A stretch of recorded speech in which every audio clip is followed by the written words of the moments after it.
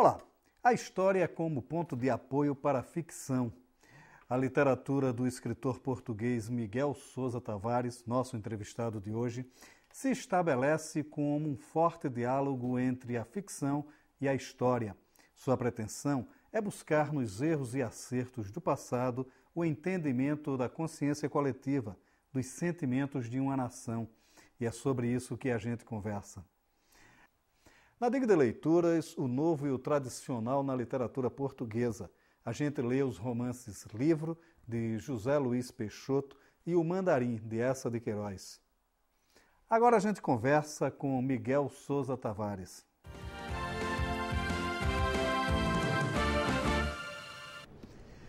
Miguel, bom, vamos conversar sobre a sua literatura como um todo. Você tem seis livros já publicados aqui no Brasil. Uh, uma coisa que, que, em princípio, me chama muita atenção em sua literatura é o diálogo que ela faz com a história. Não são romances históricos, longe disso, mas ela tem uma proximidade muito com esse ambiente histórico na sua literatura. Como é que se processa isso? Bem, eu não me importo de lhe chamar romance histórico, se você aceitar que um romance histórico é um livro de ficção que parte de um ponto de, um ponto de partida que é real, que é a história, aquilo que aconteceu. E, nesse sentido, o romance histórico é aquilo que aconteceu mais o que poderia ter acontecido. E eu gosto muito de história, sempre gostei muito de história, de biografia, são as minhas leituras preferidas. Confio mais num bom livro de história do que num romance. E sempre me fascinou a ideia de, por exemplo, você imagina que está a escrever um livro sobre a Batalha de Austerlitz e de repente você sabe que há coisas que que aconteceram, tem, não pode fugir a elas. O Napoleão comandou o exército francês e o exército, o exército francês foi derrotado pelo exército inglês do Wellington. Mas agora imagine que você mete um enredo aí no meio. O Napoleão, por exemplo, estava com dor de dentes nesse dia. Foi por isso que ele não conseguiu comandar bem o exército, perdeu a batalha. Que estava com problemas com a imperatriz, problemas amorosos, qualquer coisa. Aí entra a parte ficcional é? do romance. Isso dá muito trabalho do que dá muito mais trabalho do que escrever um simples romance de ficção, porque tem uma parte determinante que é a pesquisa. Eu, para esse livro, eu andei a pesquisar dois anos até me ter sentado para escrever. Tive mais tempo a pesquisar do que a escrever propriamente. Por exemplo, quando tem uma passagem, o livro situa-se na mesma época em Portugal, em Espanha e no Brasil, eh, aqui na época de Getúlio, primeiro período de Getúlio, e na época das fazendas de café do Val do Paraíba. E eu fui três vezes ver, visitar fazendas, vim cá três vezes, uh, vi algumas 70 fazendas, dormi em algumas seis fazendas e fiquei obcecado em, saber tudo. Às tantas você quase que se torna pior que um historiador porque quer saber tudo mesmo. O nome dos peixes, o nome das plantas, o que é que comiam, o que é que, como é que abasteciam a casa, tudo isso. E eu gosto muito dessa parte de pesquisa. Agora, é interessante, uh, você falou um pouco aqui sobre o Rio das Flores, que é um romance, exatamente esse Uh, e você consegue nesse livro uh, encontrar um momento histórico curioso, porque tanto na Espanha quanto em Portugal quanto no Brasil vivia-se um processo muito de repressão política. E você trabalha muito isso dentro do, do livro, é, mas curiosamente sem, sem, sem fazer uma espécie de libelo é, político. Né? Quer dizer, a política entra como um elemento na sua ficção, mas não como determinante da sua ficção. Como é que se trabalha isso também? Eu faço isso no Equador, não é? O Equador ainda é mais óbvio, porque eu estou a falar de uma situação de escravatura já no século XX e, e se você entrar pelo campo de tomar partido, não é? É evidente que você só pode fazer um libelo contra a escravatura. Agora, eu gosto de. Eu acho que o romancista não é julgador. O historiador pode ser, o romancista não. O trabalho do romancista é você imaginar como é que no século XX alguém podia ainda ter escravos como é que nos anos 30, por exemplo, como é que houve a ditadura em Espanha, em Portugal, aqui no Brasil. E aí você tem que se colocar no contexto em que as coisas aconteceram. É fácil hoje em dia dizer, por exemplo, meu Deus, como é que as mulheres não podiam votar? Naquele contexto histórico, não quer dizer que você passe a defender isso retroativamente, mas você entende, entende que a humanidade avançou sempre. E o que me fascina a mim, do ponto de vista do romancismo, por exemplo, nesse livro, há dois irmãos um deles é fascista, é de extrema-direita, é voluntário na Guerra Civil de Espanha.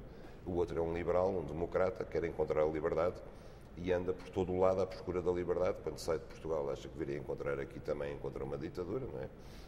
E é um livro sobre a liberdade, sobre a busca da liberdade, que eu não quis deliberadamente transformar num, num libelo, porque eu acho que os livros que são manicaístas, sei lá, os livros de militância do Sartre, por exemplo, acaba se tornando uma coisa chata. São livros que a parte de romance de, de, de, que o leitor gosta, que o prende, é uma coisa que passa rapidamente. Quer dizer, está num contexto histórico, cumpre o seu papel político, mas como livro, como literatura, não é grande literatura.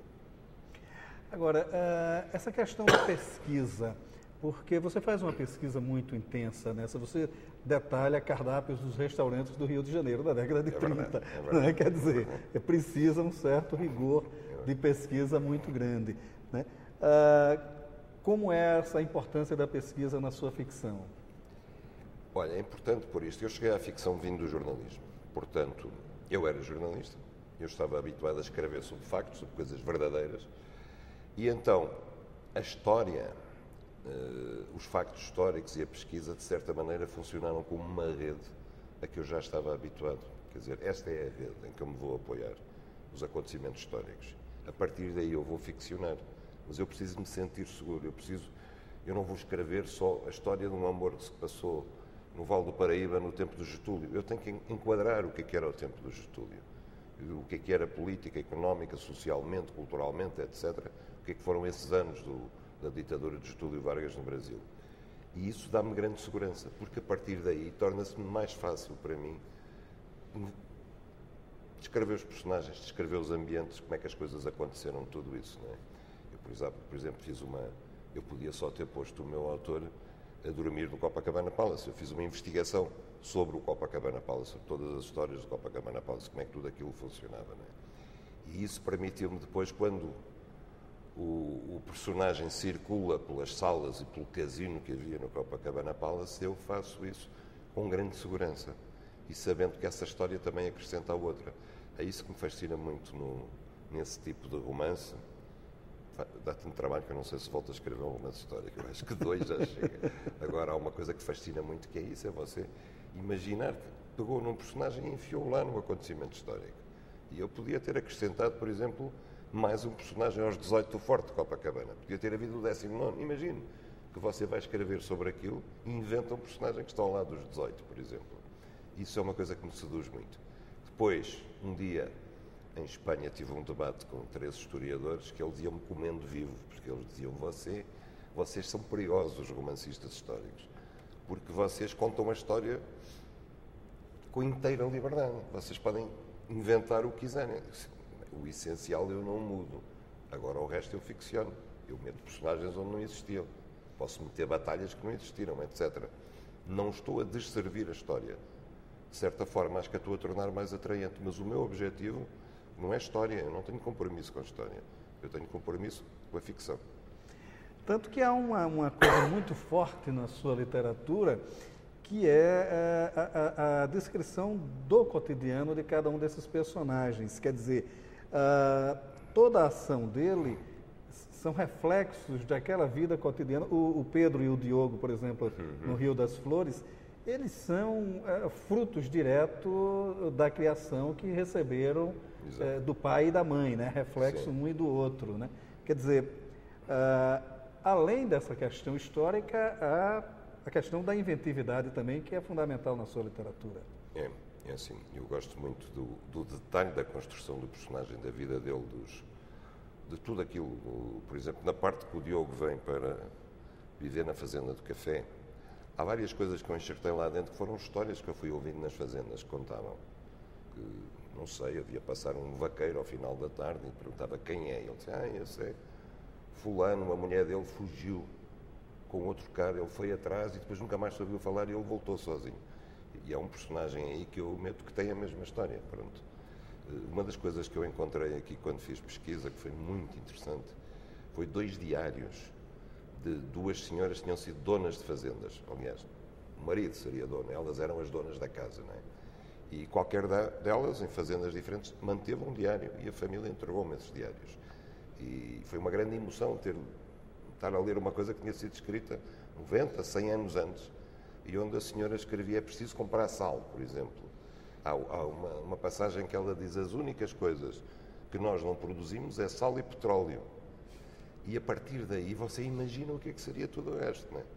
E você começa a imaginar como é que funcionava aquela economia, como é que funcionava aquela gente. Isso a mim atrai-me muito. E atrai-me isso e atrai-me, se você quiser, um, um, tipo de coisa que, que, que, me dizem constantemente. Ainda há pouco na palestra que eu fiz aqui na Bienal me disseram que a minha escrita é muito cinematográfica. E é. Eh, eu, eu quero que os leitores vejam. Eu não quero só que eles leiam a minha descrição. Eu quero que eles consigam transplantar-se para dentro da história como se estivessem dentro do filme. Quase, como se fosse uma animação onde eles entravam. E isso é uma coisa que eu procuro deliberadamente. Dar ao leitor as pistas para ele ver a história, não apenas para ler. Pois é, essa questão da descrição dos cenários também, né? Uh, é interessante porque uh, uh, no início desse, do, do, romance Rio das Flores, por exemplo, só para a gente contextualizar um pouco isso, há uma viagem à Espanha, né, que é uhum. feita pelo Exatamente. que o, o, o, pai leva o Pedro para para uma corrida de touros para uma corrida de touros em Sevilha. E ele vai descrevendo a, a, floresta que ele ele não vê, que ele está trancado no coxo, né? É, é. Quer dizer, a, a, a, a intenção cinematográfica acontece também um pouco nessa coisa do que pode ter sido, né? Exatamente. Mas, por exemplo, essa tourada que eu descrevo aí, ela realmente aconteceu em 1915, naquele dia de setembro. E deu-me um trabalho imenso a descobrir desde o nome dos touros, quem era o ganadeiro, os toureiros era mais fácil, como é que correu a faena e tudo isso. Eu tive, inclusive, aqui checar depois com o toureiro para ver se aquilo estava bem descrito, se era assim e tal. Só que os meus personagens, de facto, não estiveram na tourada porque eu inventei-os, não é? E eu, eu que só vi uma tourada uma vez da minha vida, eu tentei situar-me lá dentro, como se eu estivesse na Praça de Touros, sentir aquilo tudo e levar comigo o leitor. E é o meu exercício. Eu, eu escrevo para os leitores. Eu não escrevo para mim, não escrevo uh, nem por dinheiro, nem por vaidade, nem por críticas, uh, boas críticas, nem nada. Eu acho que escrever é quase um serviço público. Você, se tem algum talento para escrever, você deve pôr isso ao serviço da leitura.